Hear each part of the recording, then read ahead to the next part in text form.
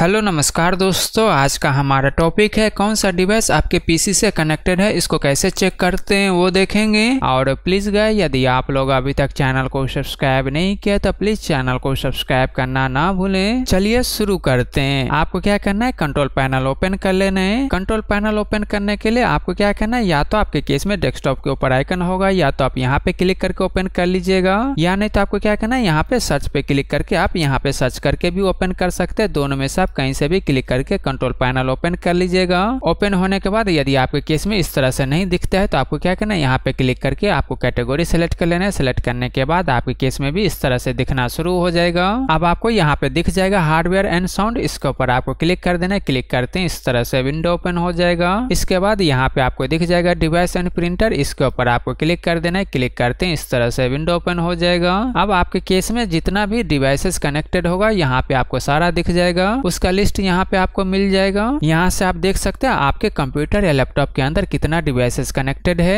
उसके बाद आपको क्या करना है इस विंडो को यहाँ से क्लोज कर देना है और प्लीज गाय चैनल को सब्सक्राइब करे लाइक करे शेयर करे थैंक यू